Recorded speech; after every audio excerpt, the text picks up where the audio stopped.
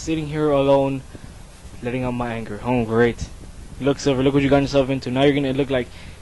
You know, I'm not even gonna say it. I'll just stay quiet. And think of stuff. Why are you sitting here all by oh. yourself, Silver? No, Is crap. something you wrong? scared the shit out of me, woman. Next time, tell me when you're about to come, alright? I'm angry. You know I can make it all better, you know.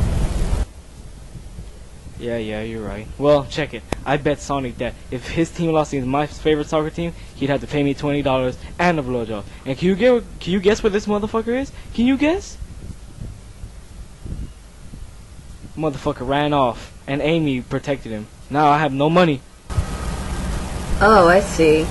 and it's not even that the fact that I lost. You know, maybe we could go after Sonic, you know, and kick his ass.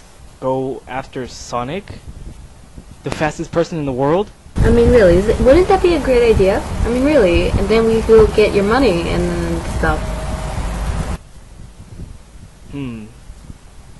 Yeah, yeah, you're right. Good idea. And I ask myself sometimes, what would I do without you? Come on, babe, we're gonna go after this nigga right now. And yes, I just called you my girlfriend. We're going out now.